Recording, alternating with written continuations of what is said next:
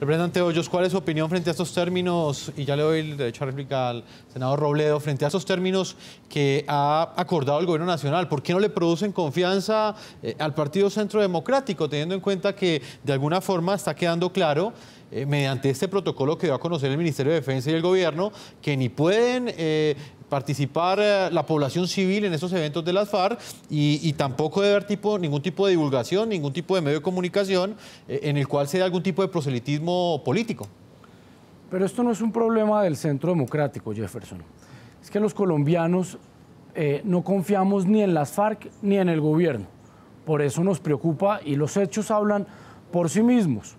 Estoy de acuerdo con el doctor Marulanda que las FARC son quienes imponen las decisiones en la mesa de La Habana. Pero su presencia en el Cauca nos preocupa de manera adicional porque un informe de Naciones Unidas, publicado ayer, dice que los cultivos ilícitos en Colombia han crecido un 44% en, en los últimos años. Particularmente el departamento del Cauca ha experimentado un crecimiento de los cultivos ilícitos del 92%.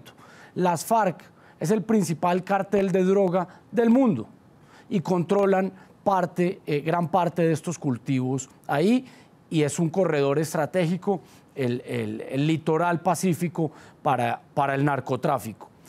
El viceministro de Justicia, el doctor Medina, ha dicho que las FARC pueden estar aumentando el número de cultivos para tener un factor adicional de negociación en la mesa de La Habana. Esto es muy grave porque el mismo gobierno está reconociendo que las FARC están aumentando su actividad delincuencial y acudiendo al narcotráfico mientras hablan de paz y dialogan en La Habana.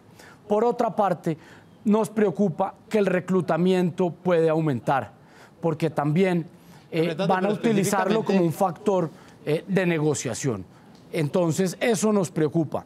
Frente a las condiciones que impone el gobierno, creemos que este ha sido un gobierno débil, un gobierno que hace concesiones a, las FARC, pero no hace exigencias. Como dije al principio, les duró ocho días la rabieta y ya se les pasó. No había un protocolo. Esta vez tuvieron que sacar uno, un protocolo nuevo donde prohíben la presencia de los medios de comunicación. Nuevamente acuden a la censura y acuden eh, a proteger a las FARC. El gobierno hoy en día no tiene facultades legales para despejar ningún territorio del país de la fuerza pública. Por lo tanto, son responsables de lo que pueda suceder allí. Senador Robledo, ¿cuál es su opinión? Eh, se habla también entonces de que hay un, despeje vedado en esto. Mire, Jefferson, yo quiero empezar por aclarar esto para que no haya confusiones. El Polo Democrático Alternativo es contrario a la lucha armada y ese es mi partido. Y en el caso mío soy contrario a la lucha armada desde hace medio siglo. O sea que aquí tengo, digamos, la tranquilidad de señalar que en esos terrenos cero coincidencia con, cualquier grupo de cualquier tipo que esté alzado en armas en Colombia. Entonces, dejado eso claro, ¿qué es lo que yo estoy diciendo? Que si hay un proceso de paz y yo estoy de acuerdo con esos procesos de paz. Creo que esos procesos de paz van generando ciertos hechos que deben ser atendidos. Uno de esos que es importante a mi juicio para los que estamos de acuerdo con el proceso de paz, quienes no quieren que este proceso de paz salga adelante o están en desacuerdo con él, están en todo su derecho y entonces todo se termina volviendo un problema. Pero yo creo que es importante que los jefes de las FARC, si va a haber éxito en el proceso de paz y esas armas van a desaparecer, convenzan a su tropa eso es lo que yo he estado diciendo. Eso es importante que ese espacio se cree. También dije con claridad, no puede producir lo que sucedió en La Guajira. Y hago votos porque no sucede. Ahora vamos a ver qué va a pasar. Se van a reunir y ya veremos si se va a repetir el caso de La Guajira o no se va a repetir. Si se repite el caso de La Guajira, yo seré el primero en rechazarlo. Pero si no se repite y esa pedagogía ayuda a que el día de mañana, ojalá todos los hombres de las FARC entreguen sus armas y se salgan eh, de, este alzamiento armado, ese va a ser un hecho positivo y de ahí no hay para qué insinuar ningún tipo de cosa distinta a esto específicamente que he explicado. Es así de simple. El nuevo voto de confianza del gobierno a las FARC para sus denominadas jornadas de pedagogía por la paz llegó tan solo dos semanas después de un evidente enojo que llevó a anunciar la suspensión de las visitas de los negociadores de esa agrupación terrorista a Colombia. En la última visita, el grupo encabezado por Iván Márquez ha violado las reglas de juego acordadas de no tener trato con la población civil y mucho menos participar con hombres uniformados y armados en un evento público con la comunidad. No habrá guerrilleros paseándose armados por las calles de ningún municipio de Colombia. Lo que sucedió ayer no se volverá a repetir bajo ningún motivo ni bajo ninguna circunstancia. No lo voy a permitir. El pasado 18 de febrero, lo que se suponía era una actividad pedagógica de los cabecillas negociadores de las FARC al interior de sus filas, terminó convertida en un acto de proselitismo armado en medio de la población civil. Estamos trayendo el mensaje de paz, hablando la pedagogía, escuchando a la gente, recogiéndole todas las inquietudes que más podamos y transmitiéndole lo que tenemos hasta ahora de avances en La Habana para conseguir la paz para Colombia. Alias Iván Márquez, Jesús Santrich, Joaquín Gómez, Yuri Camargo y Rodrigo Granda asistieron escoltados por al menos 200 guerrilleros fuertemente armados a la plaza principal del corregimiento Conejo del departamento de La Guajira. Pero no solamente hubo presencia de miembros de las FARC armados en las calles donde se cumplió el evento bajo una notable ausencia de fuerza pública, en una clara violación al derecho internacional humanitario, guerrilleros armados también estuvieron en el colegio de la localidad, como lo evidenciaron estas imágenes de Red Más Noticias. Dentro y fuera del establecimiento educativo hubo personal fuertemente armado.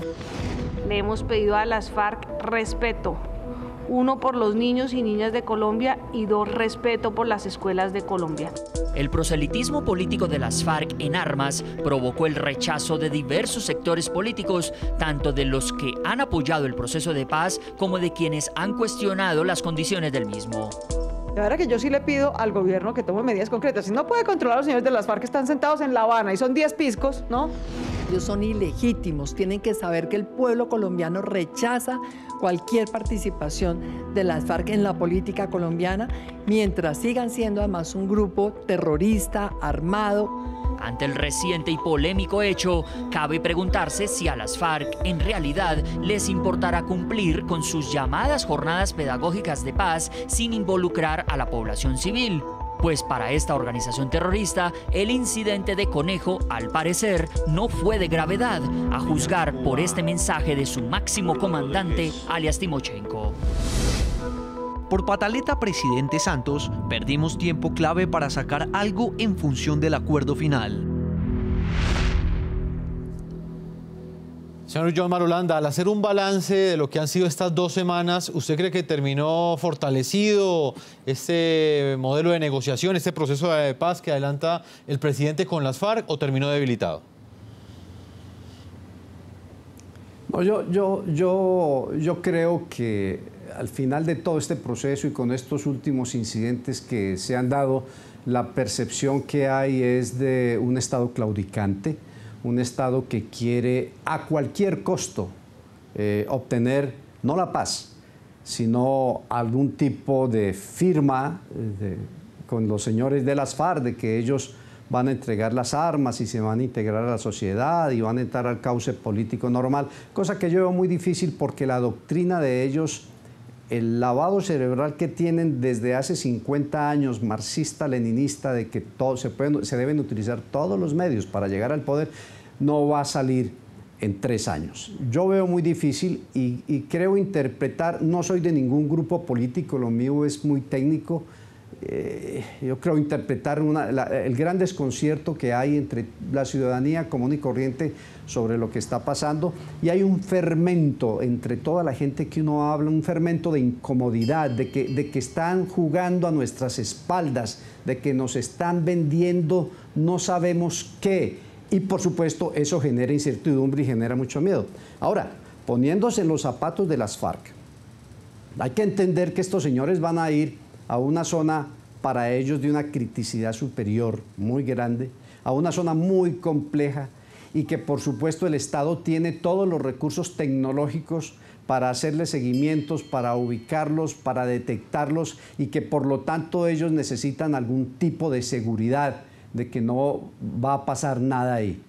eh, el, gobierno, en consecuencia, ha ordenado a la fuerza pública acuartelarse, no adelantar operaciones militares, permanecer en su sitio, lo que de hecho es un despeje del área. Y ya entrarán los, los, legisladores, los legistas mejor, los expertos en la materia, a determinar eh, qué grado de despeje de área se dio y si esto es legal o no es legal. Pero las FARC también tienen que jugar a, garantizar la seguridad de su gente que hace tres años el Estado se las está garantizando. Y aquí viene otro punto importante técnico y es el cuestionamiento que se hace a la fuerza pública. Eh, hay que entender que los ejércitos no se mueven con tanques, fusiles y aviones. Los ejércitos se mueven con moral, con espíritu, con entrega. No se va al ejército a ganar un sueldo y a volverse millonario en hacer figura pública. Se va a defender una causa. Entonces, la moral institucional queda altamente averiada con estos hechos. El ejército colombiano ha dado pruebas fehacientes a través de todos estos años de aguantar con estoicismos esas decisiones políticas como la, de la zona del despeje allá en el Caquetá, que al propio general Mora le tocó eh, eh, soportarlo casi que con lágrimas en los ojos, porque son los soldados, el pueblo colombiano raso, que es el que paga el servicio militar, el que está soportando esta situación. De modo que, eh, y, hay, otro punto adicional que quiero agregar brevemente. Tengo que irme a comerciales, señor. Es muy grave, lo del conejo es muy grave porque esa, ese, ese grupo de caballería que está allá, el grupo de caballería número 2, Rondón, tiene una misión estratégica vital. Es el primer escalón de observación adelantada, estratégica para cuidar nuestra frontera frente a un país, un vecino, que a pesar de la situación tan grave que tiene, sigue comprando armas. Acaba de anunciar cinco aviones de combate chinos más. De ese punto vamos a estar hablando más adelante. No está cumpliendo con esa misión. De modo que eso es bastante complicado. Eh, el teniente o el quien estuviera al mando de ese pelotón que dice el ministro, que, que de asuntos militares como que no sabe mucho, es ministro, pues eh, tenía la capacidad de moverse con sus unidades, eh, con sus elementos móviles, moverse hasta esa área donde estaban los individuos. Señor Marulanda, permítame un segundo que tengo que hacer una primera pausa a comerciales. Se me ha acabado el tiempo en este primer bloque. Cuando regrese vamos a, conocer la respuesta del doctor Hoyos, congresista que nos está acompañando, y del senador Jorge Enrique Robledo. Vamos a hacer una pausa a comerciales rápidamente. Ya regresamos con este debate a propósito de esta decisión que ha tomado el gobierno nacional eh, en las últimas horas, que ha anunciado que este jueves se han reanudado estas visitas de las FARC a diferentes zonas rurales en el departamento del Cauca, con información que publicó también Noticias RCN. Una pausa y ya regresamos a la segunda parte de este programa La Noche.